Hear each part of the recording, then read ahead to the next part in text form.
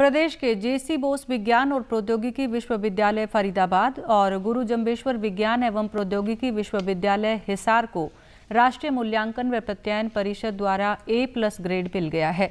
जेसी बोस विज्ञान और प्रौद्योगिकी विश्वविद्यालय फरीदाबाद को तीन दशमलव तीन दो और गुरु जम्बेश्वर विश्वविद्यालय को तीन दशमलव तीन आठ सी मिले हैं। मूल्यांकन का परिणाम 18 अक्टूबर को आयोजित एन की स्थायी समिति की बैठक में घोषित किया गया और ये अगले पाँच वर्षों के लिए वैध रहेगा।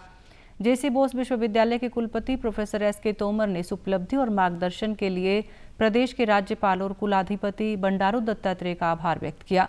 वहीं जेजेयू के कुलपति प्रोफेसर बलदेव राज कम्बोज ने बताया कि गुरु जम्बेश्वर विज्ञान एवं प्रौद्योगिकी विश्वविद्यालय हिसार देश के सर्वश्रेष्ठ उच्च शिक्षण संस्थानों में से एक है। विश्वविद्यालय 24 विभागों में उनसठ कोर्सेज में यूजी पीजी व डिप्लोमा और 20 विषयों में पीएचडी प्रदान करता है।